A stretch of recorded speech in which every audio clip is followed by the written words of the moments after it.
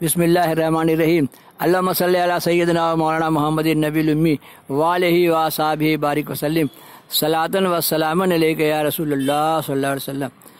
कोई भी कामयाबी हासिल करने के लिए उसके लिए ट्रेनिंग लेना पड़ता है, प्रैक्टिस करना पड़ता है पाँच पाँच साल का कोर्स पूरा करना पड़ता है। इसीलिए दीन में भी नेकी कमाने के लिए, फ़ायदा हासिल करने के लिए मेहनत करना पड़ता है।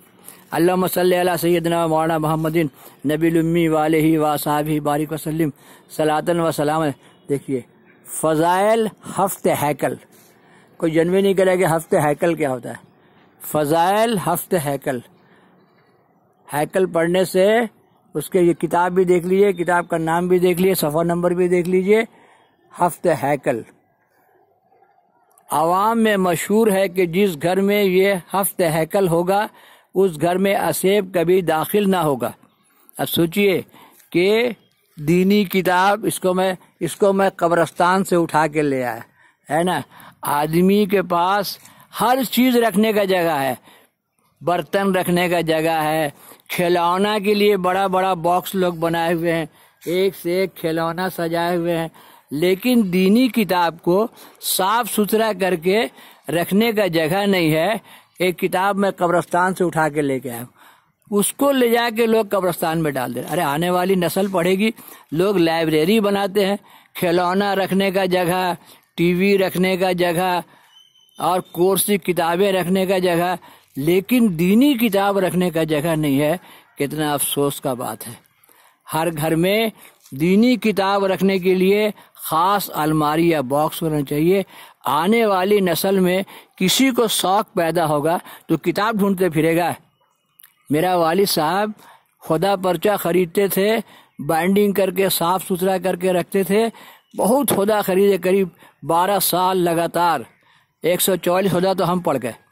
और सब रखा रहा, बाद में मेरी बेटी जेबा सारा खुदा पढ़ गई। तब आप सोचिए कि इल्म पढ़ने पढ़ने वाले आएँगे, जब आप उसके लिए कुछ कुछ जमा करके रखिएगा, तभी ना अल्लाह ताला आपको ऐसा औलाद नस्ल देगा कि इल्म पढ़ेगा। इल्मी किताबें अच्छी अच्छी किताबें। एक अंग्रेज़ी में नया कुरान कि लाए कब्रस्तान में रख दिया तो इंग्लिश का कुरान हम घर में लेके आए, उसको साफ़ सुथरा कर रखा है।